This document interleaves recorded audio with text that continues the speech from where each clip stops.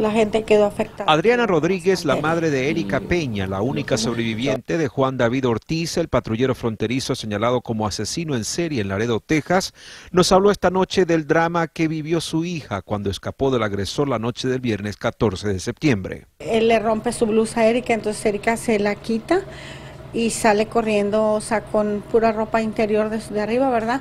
Ah, corriendo pidiendo ayuda, ayúdenme, ayúdenme, alguien me quiere matar, ¿verdad? La señora Rodríguez dijo que todo ocurrió cuando la agente federal le apuntó con un arma al pecho. Esa suerte no la corrieron Melissa Ramírez, Humberto Ortiz, que se hacía llamar como Yanel, y Claudine Loera. Erika, quien está ahora en su casa y no desea tener contacto con el público, grabó el siguiente video. Mis más sentido pésame para todas las familias. Te quiero mucho, llorar.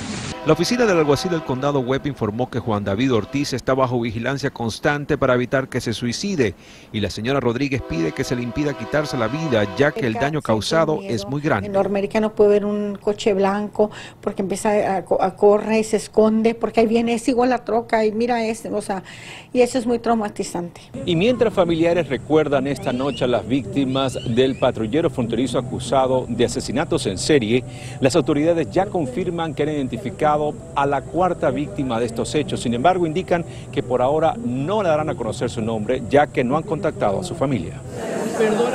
Decenas de personas se congregaron para orar por los fallecidos y allí conversamos con Colette Mireles, hermana de Claudine Loera. Es muy triste para saber que sufrieron.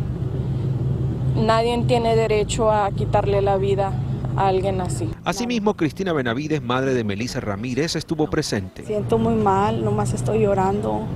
Estoy pensando en ella que aquí estuviera conmigo, que ya no la voy a ver. Los asistentes a la vigilia oraron por el eterno descanso de las cuatro víctimas que dejó el agente federal en dos semanas. En Laredo, Texas, Pedro Rojas, Univisión.